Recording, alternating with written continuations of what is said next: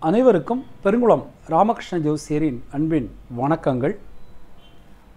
வரக்கூடிய இருபத்தி எட்டாம் தேதி அக்டோபர் இருபத்தி எட்டாம் தேதி பின்னிரவு இருபத்தி ஒன்பதாம் தேதி முன்னிரவு வாக்கிய பஞ்சாங்கப்படி குரு பயிற்சியானது நடக்க இருக்கிறது.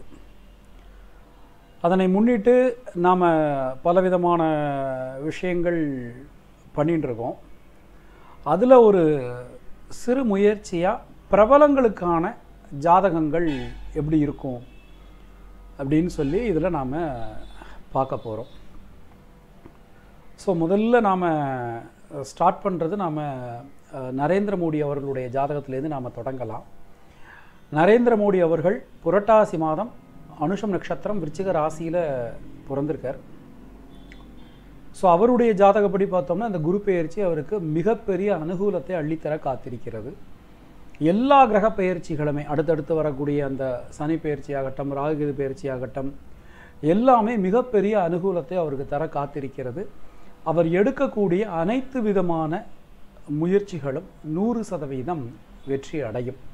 ஸோ அதற்கான ஜாதகமாக தான் அவருடைய ஜாதகமானது அமைந்திருக்கிறது. ஸோ கண்டிப்பாக ஒரு பெரிய அளவிலான ஒரு அவர் எடுக்கக்கூடிய முயற்சிகள் அனைத்து பெரிய அளவில் வெற்றி பெறும். அடுத்ததாக நாம் பார்க்க போகிறது ராகுல் காந்தி அவர்களுடைய ஜாதகம். ஆனி மாதம் கேட்டை நட்சத்திரம் விருச்சிக ராசி. ஸோ இதில் பார்த்தோம்னா அவர் ஆனி மாதம் பிறந்திருக்கார். அப்போ கதி அந்த கதின்னு சொல்லக்கூடிய சூரியனுடைய ஒரு சஞ்சாரம் என்பது அவருக்கு மிதுன ராசியில் இருக்கும். அந்த சூரியனை குரு பகவான் பார்க்க போகிறார் ஸோ ரொம்ப நீண்ட நாளைக்கு அப்புறம் அவருக்கு ஒரு மிகப்பெரிய பொற்காலமானது இந்த குரு பயிற்சியின் மூலமாக வரப்போகிறது. அதே வேளையில் அவருடைய அந்த கதி லக்னத்துக்கு கதி லக்னம்ங்கிறது சூரியன். சூரியன் ரீதியாக பார்க்கும்போது அடுத்து வரக்கூடிய காலகட்டத்திற்கு சனி எட்டாம் இடத்துக்கு போகிறதுனால அரசியல் ரீதியாக அவருக்கு சில இன்னல்கள் ஏற்படலாம். இந்த குரு பெயர்ச்சிக்கு பிறகான காலகட்டத்தில் பார்க்கும்போது அரசியல் ரீதியாக சிறு சிறு ஒரு இன்னல்கள் அவருக்கு ஏற்படலாம். அடுத்தது பிரியங்கா காந்தியினுடைய ஜாதகத்தை நாம் பார்த்தோம்னா மார்கழி மாதம் அனுஷம் நட்சத்திரம் விருச்சிக ராசி. ஸோ அது விசாகமா அனுஷமான்னு சொல்லி நிறைய பேர் அதை கன்ஃபியூஸ் பண்ணிகிட்டு இருக்கிறாங்க. இது வழக்கமாக அந்த வாக்கிய பஞ்சாங்கம் திருக்கணித பஞ்சாங்கம் அப்படின்னு இருக்கக்கூடிய குழப்பம்தான். ஸோ அவங்களுக்கு பார்த்தோம்னா அவங்களுக்கு இது வெரி வெரி ஃபேவரான ஒரு காலகட்டம். அவங்களுக்கு தொழில் சார்ந்து அப்புறம் அரசியல் சார்ந்து மக்களுடைய ஒரு ஒரு புகழ் மங்காத புகழ் இது எல்லாமே அவங்களுக்கு ஒரு நல்லபடியாக அவங்களுக்கு கிடைக்கும். இதில் ஒரு விஷயம் இருக்குது என்னென்னா ராகுல் காந்தி பிரியங்கா காந்தி ரெண்டு பேருமே விருச்சிக ராசி தான். மோடி தான் மோடியும் விருச்சிக ராசி தான். ஸோ அது அப்போது அந்த அந்த முயற்சிகள் அப்படிங்கிறது பார்த்தோம்னா ரெண்டு பேரில் யாருக்கு ரொம்ப நல்லா ரொம்ப நல்லா இருக்குது அப்படின்னு சொல்லி பார்த்தோம்னா பிரியங்கா காந்திக்கு ரொம்ப ரொம்ப ரொம்ப ரொம்ப சிறப்பாக இருக்குது. இப்போ இந்த காங்கிரஸ் சார்ந்து இருக்கக்கூடிய விஷயங்கள் அனைத்துமே பிரியங்கா காந்தி செஞ்சாங்கன்னா ரொம்ப ரொம்ப அவங்களுக்கு சிறப்பாக இருக்கும். அமித்ஷா அவர்களுடைய ஜாதகம் ஐப்பசி மாதம் பரணி நட்சத்திரம் மேஷராசி. நம்ம நிறைய தடவை பதிவு பண்ணியிருக்கிறோம். கிட்டத்தட்ட ஒரு ஒரு ஒரு ஒரு ஐந்து ஆறு வருட காலகட்டத்திற்கு பிறகு மேஷராசிக்கு மிகப்பெரிய அனுகூலமான காலகட்டம் வந்திருக்கிறது. இப்போ நம்ம பார்த்தோம்னா இப்போதைக்கு நம்ம இந்தியாவினுடைய ஒரு கதாநாயகன் சொல்லி பார்த்தோம்னா வந்து அமித்ஷா அவர்களை தான் நாம் வந்து சொல்லணும். ஏன்னா அவர் அவருடைய முடிவுகள் எல்லாமே ரொம்ப பயங்கரமாக இருக்குது. எடுக்கக்கூடிய முடிவுகள் எல்லாம் யாருக்கும் பயப்படாமல் எடுக்கக்கூடிய முடிவுகள் எல்லாமே ரொம்ப ரொம்ப பயங்கரமாக இருக்குது. ஸோ கண்டிப்பாக இந்த குரு பயிற்சி அவருக்கு மிகப்பெரிய அனுகூலத்தை நிச்சயமான முறையில் கொடுக்கும். அதில் எந்த சந்தேகமும் கிடையாது. ஸோ ஃபஸ்ட்டே நான் பதிவு பண்ணிடுறேன். இது நான் வந்து எந்த அரசியல் கட்சியும் கட்சியையும் சார்ந்தவன் இல்லை. அதை முதல்ல அது வந்து நான் ரொம்ப முக்கியமாக அதை நான் ஃபஸ்ட்டே பதிவு பண்ணிடணும். ஸோ தயவுசெய்து யாரும் வந்து என்னடா அப்படின்னு சொல்லி நினைக்க வேண்டாம். நம்ம ஒரு பிரபலங்களுடைய ஜாதகம் பொதுவாக நமக்கு எப்படி இருக்கும் அப்படின்னு சொல்லி பார்க்குறதுக்காக தான் இந்த ஒரு குரு பயிற்சியினுடைய ஒரு சிறப்பு பதிவு. அடுத்ததாக நாம் பார்க்க போகிற ஜாதகம் எடப்பாடியார் அவர்களுடைய ஜாதகம் மாசி மாதம் பூரட்டாதி நட்சத்திரம் மீன ராசி. மிகப்பெரிய அனுகூலமான காலகட்டத்தில் ஐயா இருக்கிறாரு. ஒரு பெரிய வெற்றிகளை சுவைக்கக்கூடிய ஒரு மிகப்பெரிய அவருடைய முயற்சிகள் எல்லாமே நல்லபடியாக நடக்கக்கூடிய அற்புதமான காலகட்டத்தில் அவர் இருக்கிறாரு. அவருக்கு இனி வரும் காலம் மிகப்பெரிய பொற்காலம்னு சொல்லலாம். அடுத்ததாக ஓபிஎஸ் அவர்களுடைய ஜாதகம். பூரம் நட்சத்திரம் சிம்மராசி சிம்மராசிக்கு கிட்டத்தட்ட ஒன்பது வருடத்திற்கு பிறகு மிகப்பெரிய யோகம் வரப்போகிறது இதில் ஒரு சூக்ஷமம் இருக்குது என்ன சூக்ஷமம்னா ஸ்டாலின் அவர்களும் பூரம் நட்சத்திரம். சிம்மராசி மாசி மாதம். அவர் பிறந்தது மாசி மாதம் பூரம் நட்சத்திரம் சிம்மராசி. ஸோ பார்த்தோம்னா அந்த குரு பெயர்ச்சி ரொம்ப ரொம்ப ஃபேவராக இருக்கிறது அப்படின்னு சொல்லி பார்த்தோம்னா நாம் ஓபிஎஸ் அவர்களுக்கும் ஸ்டாலின் அவர்களுக்கும் மிகப்பெரிய அனுகூலத்தை கொடுக்கக்கூடிய வகையில் இந்த குரு பெயர்ச்சியானது அமைந்திருக்கிறது. கனிமொழி அவர்களுடைய ஜாதகம் எடுத்துட்டோம்னா மார்கழி மாதம் பூரட்டாதி நட்சத்திரம் கும்பராசி. ஸோ மார்கழி மாதம் பிறந்திருக்காங்க. நம்ம பிரியங்கா காந்தி கூட பார்த்தோம்னா மார்கழி மாதம்தான். இவங்களுடைய கனிமொழியினுடைய ஜாதகம் எடுத்துட்டோம்னா பூரட்டாதி நட்சத்திரம் கும்பராசி. கண்டிப்பாக ஒரு மிகப்பெரிய அவங்களுக்கு ஒரு லைஃப்லேயே ஒரு பெரிய டேர்னிங் பாயிண்ட் ஒன்று இந்த குரு பயிற்சியில் நிச்சயமான முறையில் நடக்கும். அதில் எந்த சந்தேகமும் கிடையாது. அன்புமணி ராமதாஸ் அவர்களுடைய ஜாதகத்தை எடுத்தோம்னா புரட்டாசி மாதம் பரணி நட்சத்திரம் மேஷராசி. அவருடைய சூரியனுக்கு குரு பகவான் நாலாம் இடத்துக்கு வரார் ஸோ கண்டிப்பாக ஒரு ஒரு ஒரு ஒரு என்ன சொல்கிறதுன்னா ஒரு புகழ்மிக்க பதவி ஒரு கௌரவ பதவி கரெக்டான வார்த்தை தான் ஒரு கௌரவ பதவி அவருக்கு கிடைப்பதற்கான ஒரு வாய்ப்புகள் இருக்கிறது. அவருக்கு இனிவரும் காலம் ஏற்றம் வரக்கூடிய அற்புதமான காலகட்டம். தினகரன் அவர்களுடைய ஜாதகம் எடுத்துட்டோம்னா கார்த்திகை மாதம் விசாகம் நட்சத்திரம் துலாம் ராசி. அவருக்கு பார்த்தோம்னா குரு பகவான் சூரியனுக்கு இரண்டாம் இடத்திற்கு வருகை தர இருக்கிறார். விசாகம் நட்சத்திரம் துலாம் ராசிக்கு மூன்றாம் இடத்துக்கு போகிறார் அவருக்கு ஜனவரி வரைக்கும் ஜனவரி பிப்ரவரி வரைக்கும் கொஞ்சம் சிரமமான காலகட்டம். அதன் பிறகு குரு பகவான் அதிசாரமாகி மகரத்துக்கு போகும்போது அவருக்கு அதன் பிறகு நல்ல நிறைய நல்ல காரியங்கள் நிறைய நல்ல விஷயங்கள் இது எல்லாமே அவருக்கு நடக்க போகிறது ஸ்ரீமான் சூப்பர் ஸ்டார் ரஜினிகாந்த் அவர்களுடைய ஜாதகம் கார்த்திகை மாதம் திருவோணம் நட்சத்திரம் மகர ராசி. ஸோ அவருக்கு பார்த்துட்டோம்னா அதே மாதிரி தான் அந்த கார்த்திகை மாதம் அப்படிங்கிறது சூரியன் விருச்சிகத்தில் இருப்பார். விருச்சிகத்துக்கு இரண்டாம் இடத்துக்கு குரு பகவான் வரார் திருவோணம் நட்சத்திரம் மகர ராசி. திருவோண நட்சத்திரம் மகர ராசிக்கு ஒரு இப்போ இப்போ இப்போ- பார்த்தோம்னா அந்த குரு பகவான் பன்னிரெண்டாம் இடத்துல இருந்தாலும் கூட அவருக்கு மிகப்பெரிய பொற்காலம் நிச்சயமான முறையில் வரப்போகிறது அதில் எந்த சந்தேகமும் கிடையாது. இன்னொரு முக்கியமான விஷயம் அவருக்கு அதிசாரம் வரக்கூடிய குரு பகவான் அதாவது ஜனவரி பிப்ரவரி மாதத்திற்கு பிறகு அதிசாரமாகி வரக்கூடிய குரு பகவான் மிகப்பெரிய ஏற்றத்தை அள்ளித்தர காத்திருக்கிறார்.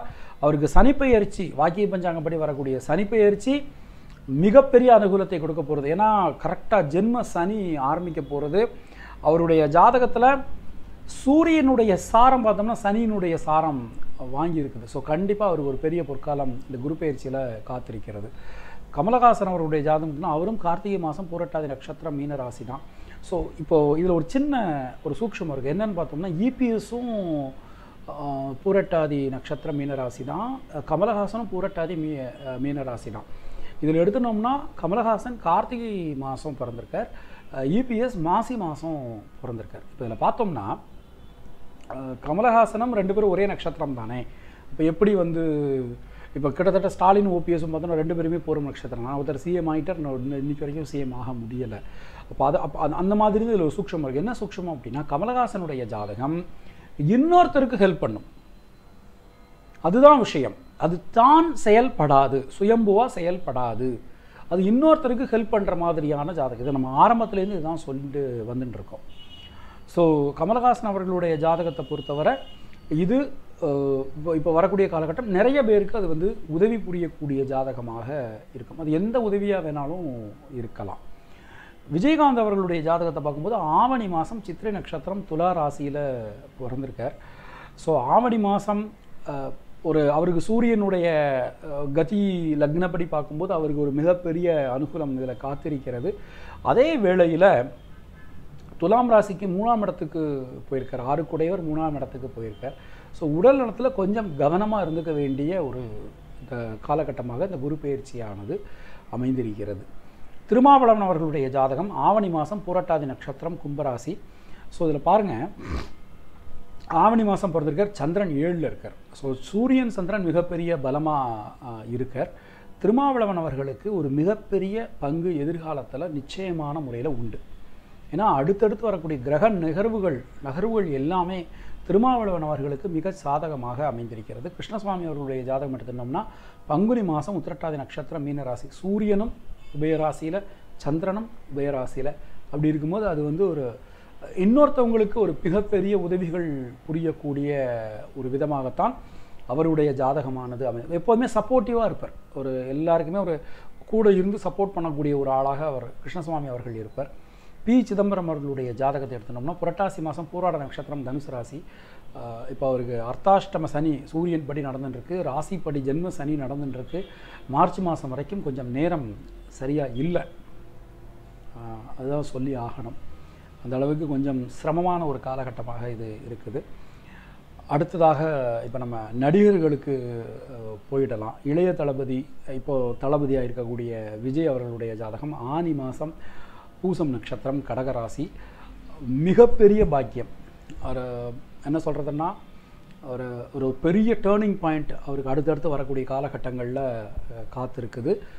கண்டிப்பாக ஒரு ஒரு அரசியல் நேரடி அரசியலுக்கு வராட்டாலும் கூட அவருடைய பங்களிப்புங்கிறது நிச்சயமான முறையில் எதிர்காலத்தில் கண்டிப்பாக இருக்கும். அவருடைய ஜாதகத்தை நான் அனலைஸ் பண்ணின வரைக்கும் அஜித்குமார் அல்டிமேட் ஸ்டார் அஜித்குமார் ஜாதகத்தை பொறுத்தவரை சித்திரை மாதம் பூசம் நட்சத்திரம். சூரியன் மிகப்பெரிய பலம். ஆனாலும் அவர் அரசியலுக்கு வரக்கூடிய தயங்குறதுக்கு காரணம் என்ன அப்படின்னா அந்த சந்திரன் பலமாக இருக்கிறதுனால மனசாட்சிக்கு சம்பந்தப்பட்ட சில விஷயங்களுக்கு முக்கியத்துவம் கொடுக்கக்கூடியவர் அவர் இருப்பார். ஸோ அதனால தான் அவர் வந்து அந்த தயக்கம் அப்படிங்கிறது இருக்குது. ஆனால் கௌரவ பதவிகள் அவருக்கு அவரை தேடி வரும். அது அது கண்டிப்பாக நிச்சயமாக அவருடைய ஜாதகப்படி இருக்குது. இந்த குரு பயிற்சியை பொறுத்தவரை அவர் உடல்நலம் சார்ந்து சில விஷயங்களில் ரொம்ப ரொம்ப கவனமாக இருந்துக்கணும். சிம்பு ஜாதகத்தை பொறுத்தவரை தை மாதம் சித்திரை நட்சத்திரம் துளாராசி மிக மிக கவனமாக இருக்க வேண்டிய காலகட்டம். சனியினுடைய சஞ்சாரமும் குருவினுடைய சஞ்சாரமும் அந்த அளவுக்கு அனுகூலமாக இல்லை. அடுத்த வருஷம் ஜூன் மாதத்துக்கு மேலே ஓரளவு சிம்புவுக்கு நல்லா இருக்கும். தனுஷ் அவர்களுடைய ஜாதகத்தை பொறுத்தவரை ஆனி மாதம் ஆயில்யம் நட்சத்திரம் கடகராசி இப்போ இதில் அவருக்கு பார்த்தோம்னா அவருக்கு நம்ம ஏற்கனவே சொன்ன மாதிரி நம்ம ராகுல் காந்தி ஜாதகத்தை பார்த்த மாதிரினா அவரும் ஆனி மாதம்தான் அந்த ஆனி மாதத்தில் பிறந்தவங்களுக்கு கண்டிப்பாக இந்த குரு பெயர்ச்சி மிகப்பெரிய ஃபேவர்னு சொல்லலாம். ஏன்னா எந்த விஷயத்தை எடுத்தாலும் அந்த விஷயம் ரொம்ப ரொம்ப நல்லாயிருக்கும் நல்லா இருக்கும். தோனி அவர்களுடைய ஜாதகம் ஆனி மாதம் உத்திரம் நட்சத்திரம் கன்னியா ராசி. ஸோ இப்போ இந்த அஜித்துக்கு பார்த்தோம் இல்லையா சூரியனுக்கு நாலாம் இடத்துல சந்திரன். இவருக்கும் அதே மாதிரி தான் சூரியனுக்கு நாலாம் இடத்துல சந்திரன். ஒரு ஓய்வு பெறுவதற்கான காலகட்டம்னு இதை சொல்லலாம். ஏன்னா அர்த்தாஷ்டம சனி நடந்துட்டுருக்கு. ராசி ரீதியாக பார்க்கும்போது கதி ரீதியாக பார்க்கும்போது கண்டச்சனி நடந்துட்டுருக்கு. ஸோ இந்த காலகட்டத்தை பொறுத்தவரை ரொம்ப ரொம்ப கவனமாக இருக்க வேண்டிய ஒரு காலகட்டம் அவருடைய ஜாதகத்துக்கு. அது மாதிரி ஒரு பெரிய பதவி ஒரு ஒரு ஒரு கௌ இப்போ கவர்னர் மாதிரியான ஒரு கௌரவ பதவி இவருக்கு வந்து கண்டிப்பான முறையில் இவருக்கு தேடி வரும். சுழல் விளக்கில் பயணம் பண்ணக்கூடிய ஒரு வாய்ப்பு இவருக்கு உண்டு. இப்போ இருக்கக்கூடிய இந்திய கிரிக்கெட் டீமினுடைய தலைவர் விராட் கோலி ஐப்பசி மாதம் உத்திரம் நட்சத்திரம் கன்னியா ராசி. இதில் பார்த்தோம்னா ஐப்பசி மாதம்ங்கிறது சூரியன் துலாமில் இருப்பார். ஸோ கண்டிப்பாக அவருக்கு ஒரு இது இது இது ரொம்ப ரொம்ப சேலஞ்சபிளான ஒரு காலகட்டம் தான் குருவினுடைய சஞ்சாரமும் சனியினுடைய சஞ்சாரமும் மிகப்பெரிய அளவில் அவருக்கு உதவிகள் புரிய போகிறது அவருக்குமே கிட்டத்தட்ட பார்த்தோம்னா ஜனவரிக்கு பிறகான காலகட்டம் மிகப்பெரிய அனுகூலத்தை கொடுக்கும். ரோஹித் சர்மாவினுடைய ஜாதகம் சித்திரை மாதம் கிருத்திகை நட்சத்திரம் மேஷராசி. அருமையாக இருக்குது. ரொம்ப சிறப்பாக இருக்குது. விராட் கோலிக்கு அடுத்தாப்புல இந்தியன் டீமில் ஒரு நல்ல ஒரு பெரிய பொசிஷனுக்கு வர்றதற்கான வாய்ப்புகள் ரோஹித் சர்மாவுக்கு நிச்சயமான முறையில் இருக்குது ஏற்கனவே அவருக்கு பார்த்தோம்னா நம்ம அந்த கடந்த உலகக்கோப்பையில் மிகப்பெரிய சாதனைகள் பண்ணிட்டார். இதுக்கப்புறம் வரக்கூடிய காலகட்டம் இன்னும் அந்த கிரீடத்தில் இருக்கக்கூடிய வைரம் மாதிரி ஒரு மிகப்பெரிய அவருக்கு ஒரு வாய்ப்புகள் பொன்னான வாய்ப்புகள் நிச்சயமான முறையில் அவருக்கு வந்து சேரும். ஸோ உலகத்தின் ஒரு ஆகச்சிறந்த வல்லரசான அமெரிக்காவினுடைய அதிபர் டொனால்ட் ட்ரம்பினுடைய ஜாதகம் வைகாசி மாதம் கேட்டை நட்சத்திரம் விருச்சிக ராசி. ஸோ அவருக்கு பார்த்தோம்னா அவருக்கு கொஞ்சம் சரியாக இல்லை. கொஞ்சம் ரொம்ப ரொம்ப கவனமாக இருக்க வேண்டிய ஒரு காலகட்டம். முக்கியமாக உடல்நலம் சார்ந்து அப்புறம் பாதுகாப்பு சார்ந்து ரொம்ப ரொம்ப அவர் கவனமாக இருந்துக்கணும். மீண்டும் அடுத்த பதிவில் நாம் சந்திக்கலாம். நன்றி. வணக்கம்.